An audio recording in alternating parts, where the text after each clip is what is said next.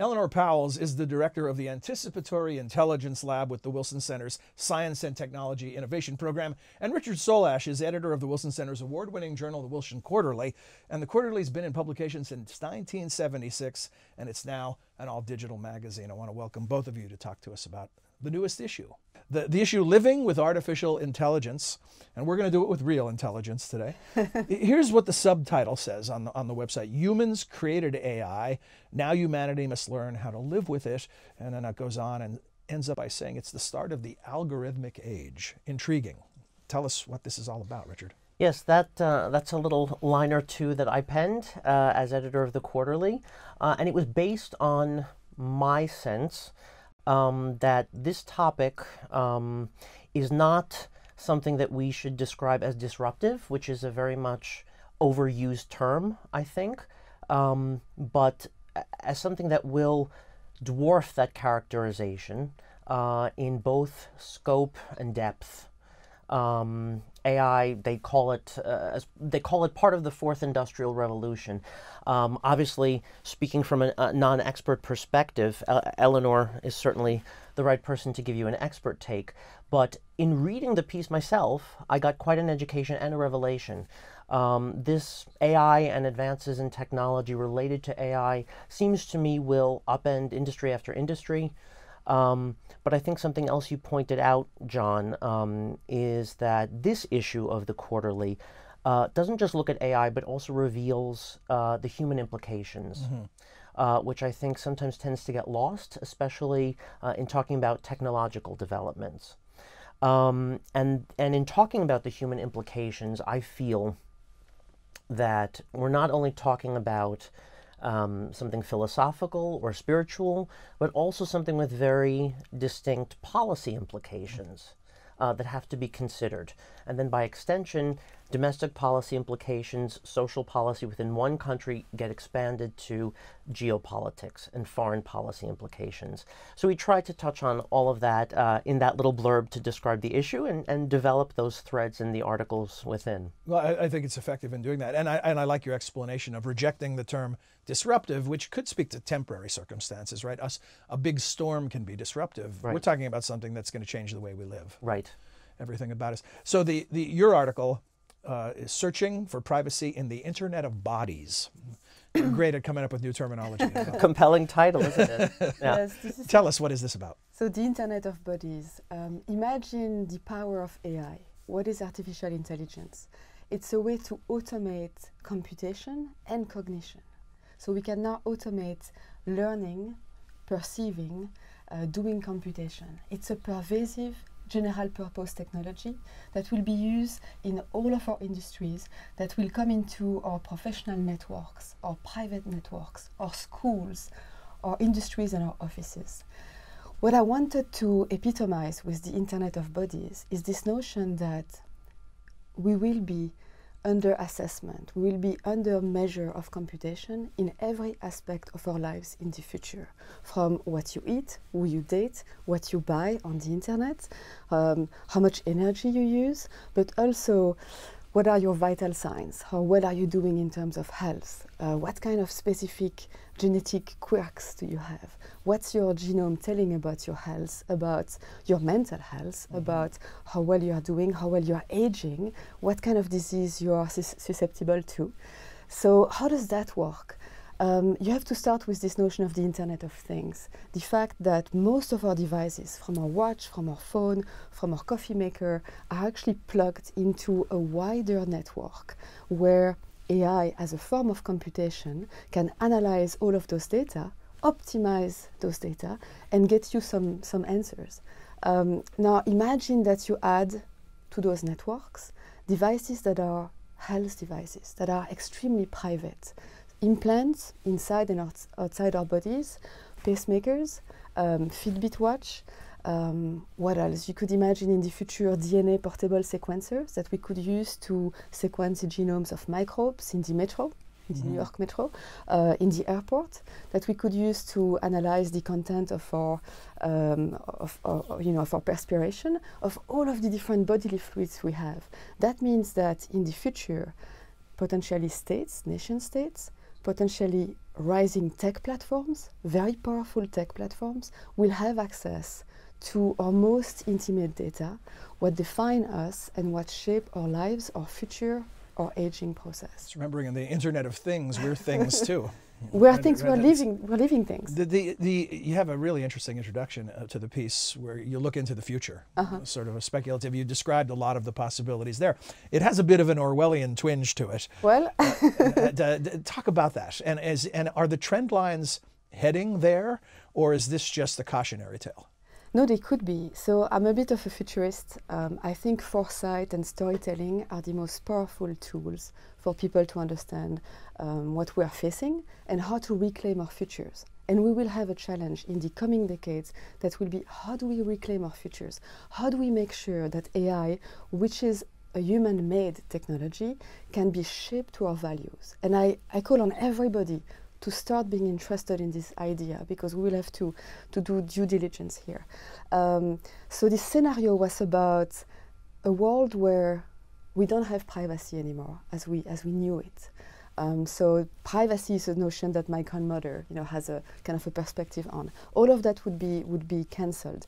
The idea is that human beings could be followed by their own uh, drones, their personal drones, that are streaming personal data, intimate biological data about each individual, and following them as a as a digital avatar, as a guardian, as a guardian drone.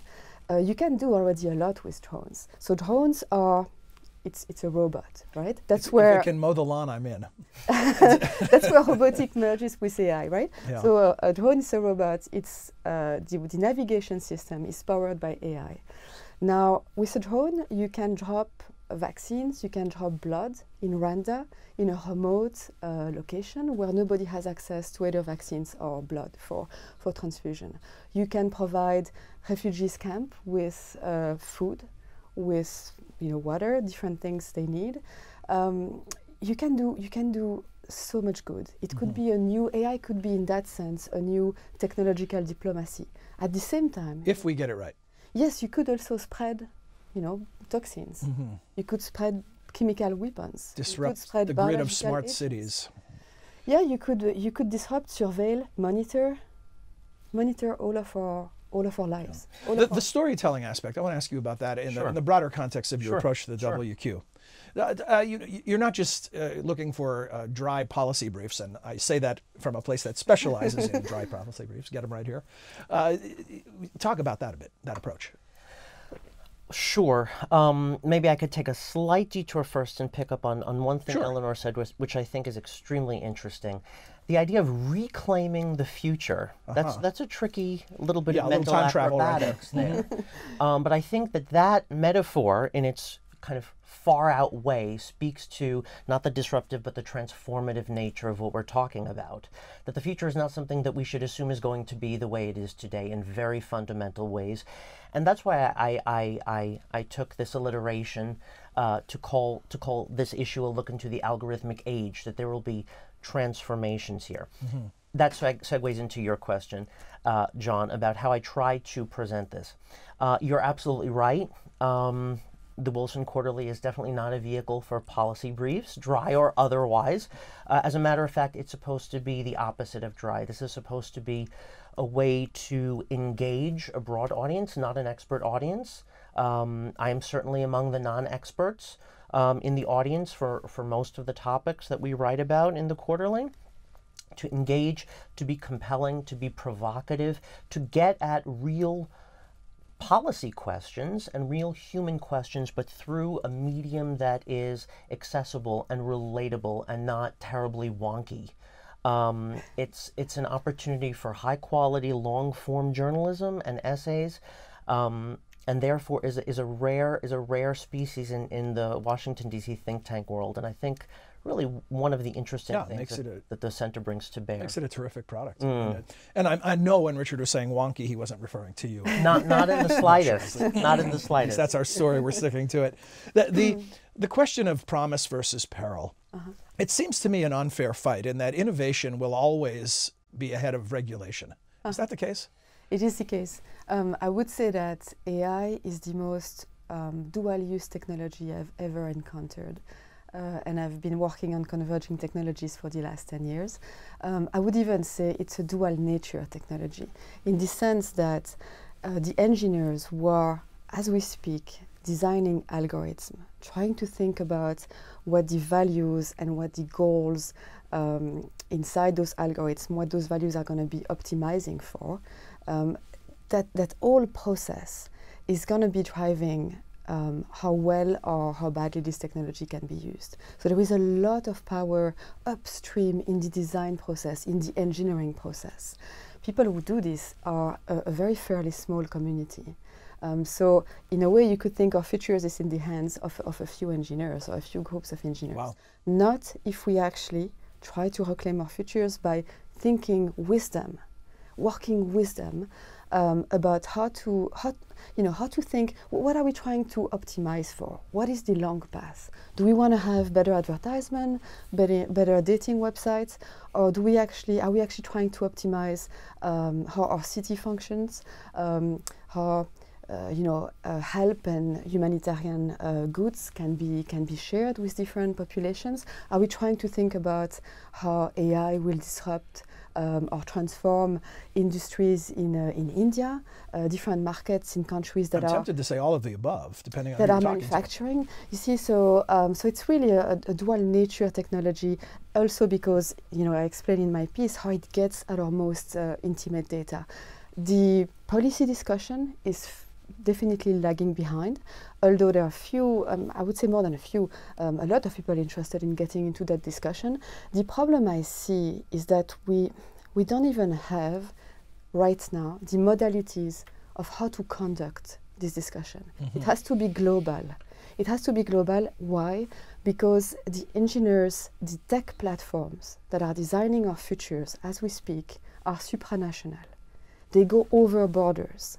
So one country cannot necessarily have an impact on the development of this technology. We have to, we need to figure out what the modalities of this global governance discussion ought to be And who to invite to the meeting. and whose voice are going to be heard and that's a very key question because we've not been we've not been that good in the past at either anticipating the future or being inclusive and being sure that everyone in society is represented in that conversation and there you get into another issue which is digital literacy how do we give how do we empower the next generation and the older ones to understand what's happening well enough so that they can protect, protect themselves.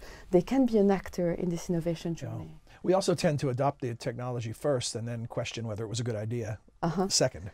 Yeah, that's These, these are all big questions. They're scary questions. Um, for most people, myself included, the, the even the term artificial intelligence is, is a bit of a conundrum. So, what better place to ask these questions than we figure than in a publication like the Quarterly, which aims to ask them to a broad range uh, of people uh, to get people thinking about these questions, which need to be addressed right now. Well, well, I want to ask both of you this notion too. One as an expert, another as someone who's done a deep dive. When lay people like me talk about artificial intelligence, we're often thinking about when machines are as smart or smarter than us, or as capable uh, as our brains. Uh, You know, the singularity, right? Uh, is that what we're talking about now? And if we're not, what is the gap between where AI sits today and that moment? Uh-huh. So right now, what's happening is that those self-teaching computers are able to uh, mainly optimize data, and that's why we need so much data liquidity into the system. s- You know, massive amounts of data to be able for those self-teaching computers to keep learning and to be able to recognize your face in a crowd, recognize specific biomarkers in our genomes. That's where we, we are at now. But Eleonore, let me ask you about when you say self-teaching. I, I can teach myself to knit or play golf or whatever it might be. Uh, machines can't do that without somebody programming them, with algorithms provided or things like that. Is that correct? I mean, so what is the difference between artificial intelligence and real intelligence? It actually goes beyond uh, just writing a program. That's probably one of the first uh, phase of development of AI. You write a program, you uh, classify, you know, the different decisions that are going to be taken. Um, in this case, we're talking about algorithms that, because they are faced with massive amounts of data, can start to learn and differentiate on, on their own. Um, if you, you know, if you take the um, the issues of uh, playing chess or those different games that have been uh, surpassed by different computers, those computers were able to actually simulate simulate up to 20 different strategies in a few seconds. Our, our human brain doesn't work that way, but we we are we, you know we have um, a life experience that help us learn in in a I would say in a more efficient way. Uh, you learn, you know, to, to, to ride a bike, you know that you have to move your, your balance. You, you learn uh, based on uh, cognitive equipment that takes into account the environment. And so we, we are clever by the way we actually understand so many things at once. Well, we also introduce things like morals or values into the equation. Yeah. Do machines do that? Does artificial intelligence do that? Or can it someday do that? Well, you know, when you optimize a process, you optimize uh, for a certain goal, you could say for a certain value. So that's where we're already facing, to some extent, issues that, that could be of interest. Are you actually, are you optimizing, um, you know, using data that are not necessarily inclusive? What happens when you do that? So there are already questions. Who chooses the value? right now? Will the machines can the machines do it themselves eventually? Is that the idea? Um, that's that's in process and in development, but right now that thinking is left to the engineers. So, ha- having done this deep dive, has it, w- talk about how your notion of what AI is uh, or can be has evolved. It's scary. Um, it's striking. Uh, and it's coming, and it's here. Um, and the title of the issue is Living with Artificial Intelligence. Uh, and that was chosen judiciously um, and with thought um, because it is reshaping reality um, and it will continue to. Uh, and a lot of the questions that Eleonore brought up um, and that I had uh, when I first approached the topic of AI for an issue of the Wilson Quarterly are elucidated, developed, even perhaps answered. These are tough questions to answer definitively, definitively of course, within the issues of the within the articles of the issue. Um, you asked about morals. Uh, one thing that I am pleased with in this issue was that in Eleonore's article and in others, ethics um, and moral questions um, are definitely brought to the fore. Um, it seems to me uh, that this is extremely important for policymakers, for the public, and as Eleonore mentioned, a very broad range of interlocutors to consider. Everyone, in particular, actually, not in particular, everyone. Um, one thing I should mention we tried to get at that very same question, and a lot of the conundrums um, and difficulties involved in this topic and its implications in an interactive slideshow we put together, uh, which is about how artists are actually appropriating AI. Uh, I thought that this would actually be not just a little bit of color to add to the issue, um, but a very interesting and needed perspective. Um, humans have always relied on the arts to help us make sense of the world around us and to ask questions um, that are very important. And so we actually feature the work of several artists who are asking these questions through their art. Uh, and raising and raising yet more questions, not only about the technology but about who we are and the interface between the two. Uh, Eleonore, I, I know I've asked you this before, but I think for the benefit of people watching this discussion, the difference between artificial intelligence and anticipatory intelligence in your lab title. Uh-huh. Um, anticipatory intelligence is uh, actually a field of intelligence. So it's a field of uh, policy making um, that's trying to to, to run very deep foresight exercise um, to try to understand what kind of challenges we are going to be facing on the technological frontier, but also at the nexus of technology and societal systems, human systems. So you could apply um, anticipatory intelligence to health security, global health security, um, to food security. Um, the idea is to really try to understand what is the nature and scope of the challenges, conflicts um, we are facing in, in the future. Artificial intelligence is, a, is another beast, right? It's, The it's- other AI. Yeah, it's, Not- it's a not just technological development, but uh, that, that will be pervasive and that will be evolving uh, with a need for foresight and for a need of anticipation. I figure some in, uh, confusion arises when people see the AI acronym uh, applied to different things. We're, we're almost out of time, but Richard, before we are, we've been talking about the issue for people watching who'd like to read it for themselves or even subscribe to future issues. Can you talk to us about what you have coming up and also how people can subscribe? Sure. Um, speaking of AI in, an, in terms of anticipatory intellig- intelligence, Yeah. um, the, the quarterly as a publication um, strives to be anticipatory. Uh, it strives to be current and also prescient, um, picking up on trends in development that will continue to develop in major ways in the future. Uh, recently, we did a major issue on the Arctic, which is one of the fastest changing regions in the world. Then we did an issue on disinformation, which is very much au courant and, and also very much of, of the future. Um, and in this case, we also were, were prescient, and we will hope to continue to be. Um, our next issues um, are in development. Um, the forthcoming issue in the summer will have to do with North American connections, looking especially at the ongoing NAFTA negotiations uh, and their broader implications. Um, we also have a special 50th Wilson Center 50th anniversary tie-in issue in store later in the year, uh, which will look at multilateralism, uh, which is very much a topic uh, of the news today, and, and I think in flux in certain ways. Um, I'm happy to announce, as you know, and as Eleonore knows, and hopefully your viewers will, will learn, that the quarterly is completely free. Um, you just go to the website, wilsonquarterly.com, and you type in your email address, and you'll get all of our latest content, and hopefully people will enjoy it. And with content like that and an offer like that, who could not do that? I feel like we're doing a telethon suddenly. But the, thank you. Fascinating. I, I, I, always enjoy the WQ and, and its history uh, from its inception as a print piece to all the brilliant things you've done with it today and the latest issue. And Eleonore, as always, I, your, my discussions with you are mind, mind expanding. Thank you so much. Thank you, Jen. Thanks. Thank you.